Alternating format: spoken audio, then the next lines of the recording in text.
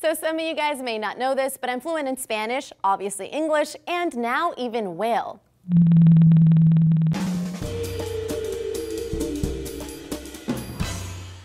We've long known that whales talk to each other. They relay messages to one another through acoustic signals that come in the form of clicks, whistles, and calls. And the variations of these communicate different messages. Much like in human language, we use different words to make up sentences. But new research shows that some whale talk may be even more complex than we originally thought.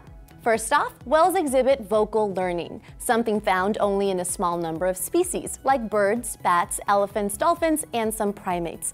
Nope, sorry, your dog doesn't fall in this category. While dogs may bark to communicate, the reason this is not considered vocal learning is because dogs cannot manipulate their bark sounds or learn new barks via imitation and modification. But whales can.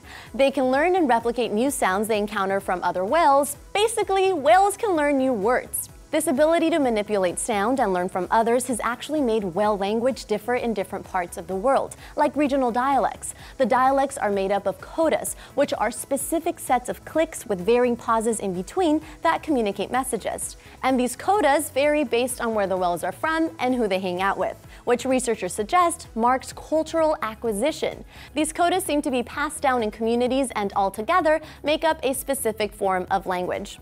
In a recent study published in Royal Society Open Science, researchers recorded the vocalizations of nine different Caribbean sperm whale groups over the course of six years. By analyzing thousands of coda recordings, the researchers identified 21 unique codas. One of these, the 1 plus 1 plus 3 coda, was produced in exactly the same way by all nine groups in the Caribbean. But this is not the case for other sperm whales. Sperm whales outside of the Caribbean produce different codas. So the researchers suggest that this 1 plus 1 plus 3 coda acts as a regional dialect. Orcas are another whale species with similarly rich vocalizations. As reported in an article published in Animal Behavior, when researchers studied four different populations of orcas across the North Pacific Ocean, they found that each community within a specific geographic region produced a set of matched vocalizations.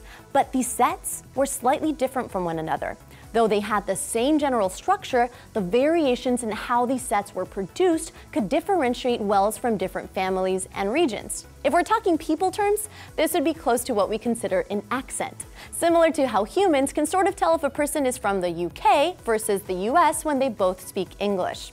And one study even found that orcas can learn to speak dolphin. In a study published in the Journal of Acoustical America, when 10 orcas in captivity were split up to be housed either with other orcas or with bottlenose dolphins, researchers noted that the three whales that were with the dolphins began to vocalize using more whistles and clicks, just like their new friends. But the seven other whales who were housed with their same kind did not. That they can pick out and imitate other cetaceans' patterns is incredible.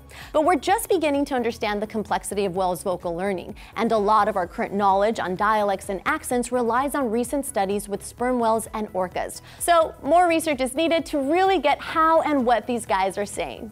But if you want to know more about their dolphin friends and how they give each other names, get the scoop here. Scientists at the University of St. Andrews developed a way to track the whistles of wild dolphins, and this opened up a whole new world. It's not just that each dolphin has its own whistle. That in itself wouldn't be unusual. But rather that these whistles are actually names of other dolphins. Do you have a favorite accent in your language? Tell us in the comments below and subscribe to D News.